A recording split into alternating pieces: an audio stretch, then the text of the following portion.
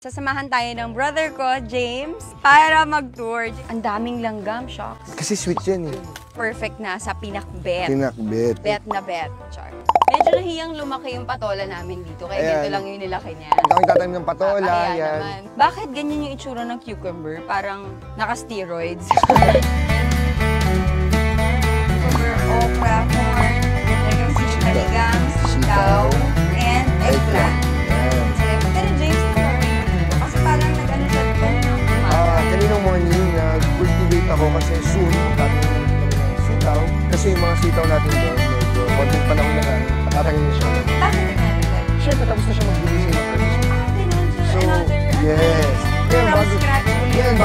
matapos, mag-start ako.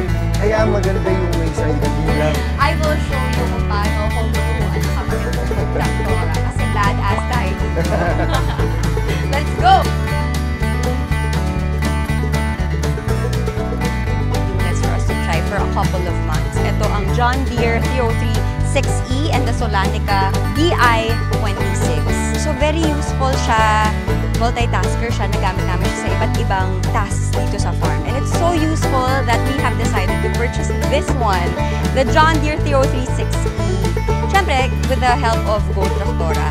And I think it's a very good investment also, especially kung farming ka talaga because it's the number one brand. And also, they've been in the game for 31 years. So alam mo that you're getting the good value for your money.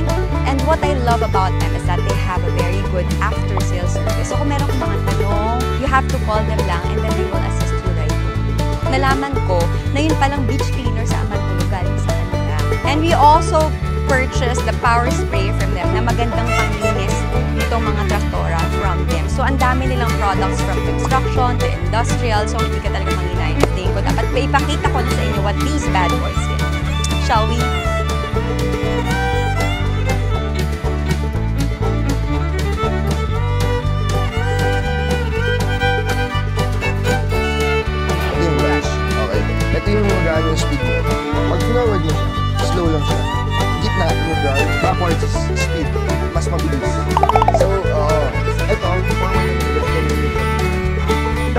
Yung gandang traktor. Kahit hindi ko actually. This is the gas. Ah, dahan-dahan mo na bitawan yung watch mo. Okay.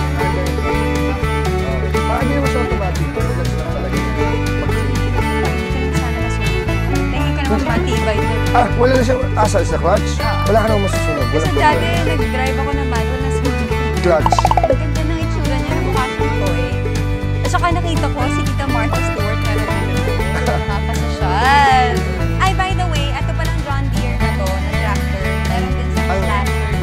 Meron din siyang slasher na attachment. So, yung gagawin ko ngayon. Mag-grass cut ako dito Yes. sa kahabaan harapan ng farm.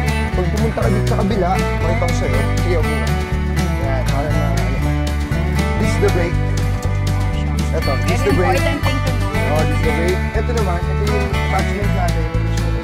Mo. Pag iharap mo siya, dahan-dahan, or pag gagamit mo siya, one.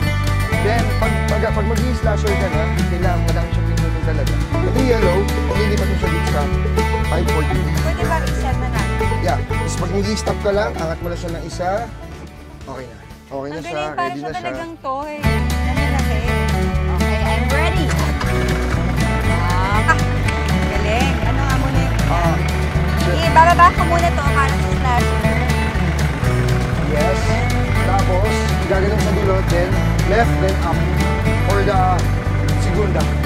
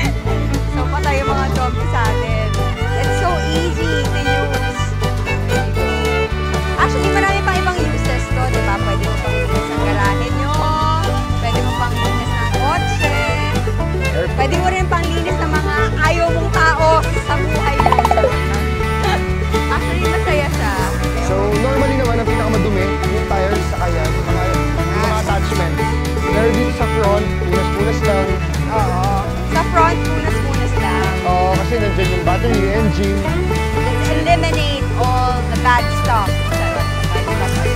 Sobrang oh. na-happy si Mama dyan. Subang uuwi nito kasi sa charge mo lang kahit saan pumunta pwede kang bitbit.